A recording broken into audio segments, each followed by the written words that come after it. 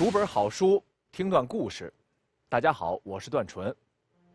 今天我们一起来读《旷世绝响：雷鼓敦曾侯乙墓发掘记》，作者是越南。这本书详尽描写了曾侯乙墓发掘的全过程。曾侯乙墓被称为二十世纪中国境内最伟大的考古发现之一。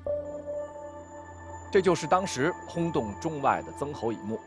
当时在这座墓内出土了珍贵文物一万五千多件，一个墓内出土国家一级和国宝级文物如此之多，在全国也属罕见。当时发掘出了一架青铜编钟，不但保存完好，而且发音纯正，被誉为世界罕见的奇迹。然而，这样重大的历史性发现却经历了起伏跌宕、一波三折的传奇过程。一九七七年九月，湖北武汉空军某修理所驻地是一片繁忙景象，很多军人正在随县城关西郊的雷鼓墩附近扩建厂房。雷鼓墩位于湖北随州市区西一公里处，之所以选中这里呢，因为雷鼓墩周边得天独厚的地理位置，这个地方是依山傍水，可以说。是天造地设，风水宝地。这次修建厂房，按照原计划，要在原有的山岗上深入地下十米多。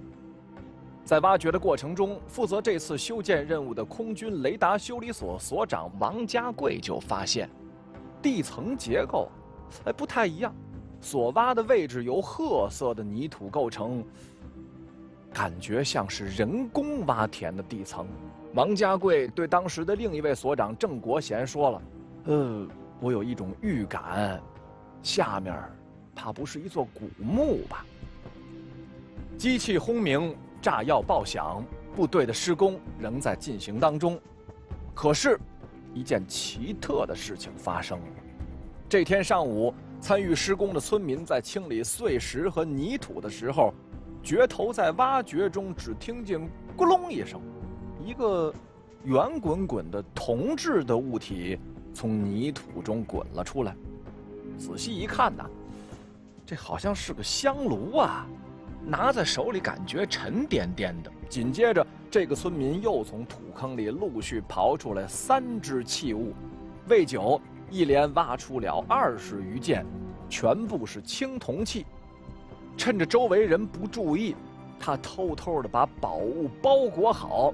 一路小跑，气喘吁吁地把东西背回家中，并且在家里搭出了一块木板公开展示，引得周围的村民是纷纷围观。大家是你一言我一语，有的说了这些青铜器呀，卖给废品回收站，可能也就能卖几个钱；有人说了啊，这里边都是宝贝，咱们应该给它撬开。众说纷纭之际。这个村民实在是按捺不住了，抡起了大铁锤，就向其中的一个青铜罐子狠狠地砸了下去。正在这时，只听得门外一声大喊：“住手！”几位驻地官兵匆匆忙忙冲了进来，对待在现场的村民大声呵斥：“你弄来这些东西啊，都是珍贵的国家文物，必须交给国家。”私藏可是犯罪，要打成现行反革命的。军队负责人员带着收缴的青铜器回到驻地，又请了部队其他的几位首长观看之后，认为啊，确实是古物，于是决定密切关注施工现场，同时呢，向随县文化馆打电话，请他们派人来把收缴的青铜器拿走。紧接着。陆续有人报告，哎，又发现新文物了，并且有的已经，哎呀，被偷出去当废品给卖掉了。王家贵看到这种情况，就和郑国贤商量，说这要真是一座古墓啊，这事儿可就大了，是不是让县里派一个明白人来给看看呢？于是他们一方面向上级部队报告，一方面。再三请求县文化馆前来确认，可是县文化馆并没有引起重视，第一次来人在现场转了一圈啊，简单的问了几个问题，就告诉他们，啊，这个不要紧嘛，你们该怎么干怎么干，继续施你们的工吧。这个时候，王家贵很担心呢，说继续打眼儿放炮，万一损坏文物怎么办？可是对方干脆的回答说，没关系啊，继续放你们的吧。这就像啊，毛主席所说的。带着花岗岩脑袋去见上帝的反动派是一样的，你不打，他就不倒。哎，要给他点厉害看看。可是，这几度施工现场都让王家贵心存疑虑，他始终认定这地下是一座古墓，却苦于没有证据。一九七八年二月二十一日，推土机正在工地上紧张的工作中。一块长宽各一米多的大麻灰色花岗岩大石板破土而出，继续挖掘之后，发现了一连五块大小相近的石板，都经过人工凿制，铺砌成了一个平面。几小时的推进，地下大石板陆陆续续被撬起几十块，一眼望去，如同一片石场。继续深挖，又发现夯实的白膏泥。结合现场种种的迹象，这地下深藏着一座古墓，是无可怀疑了。部队当时的负责人，武汉军区空军后勤部领导明确批示，同意暂停施工，确保国家文物安全。不得已，王家贵骑着自行车直奔县文教局，找到了文教局局长汇报。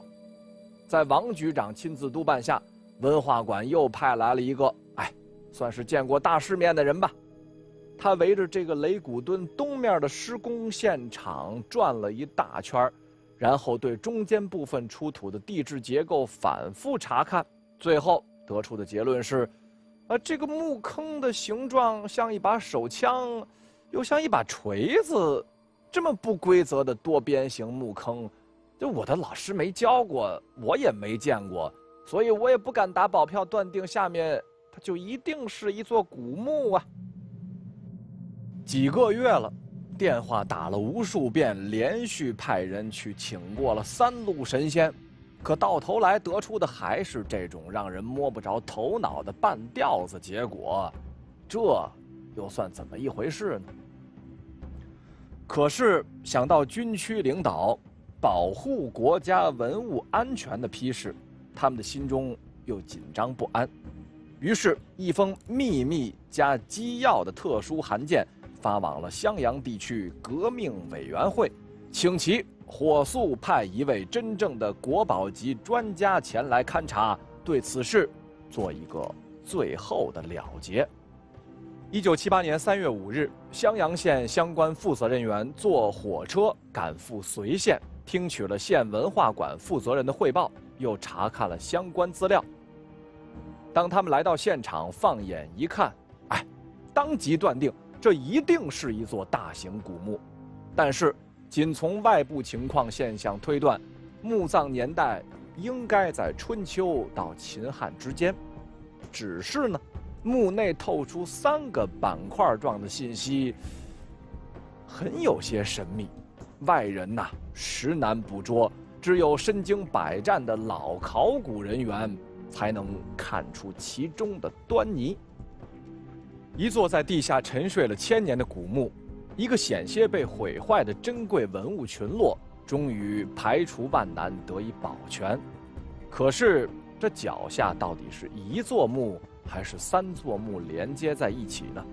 地下棺椁又是否完好无损？墓的主人是否还安然躺在棺中沉睡？这样的问题。就都必须通过钻探，才能够确认了。这个神奇的陵墓里究竟埋藏着怎样的秘密？明天同一时间继续一起来读《旷世绝响：雷鼓墩曾侯乙墓发掘记》。我是段纯，明天见。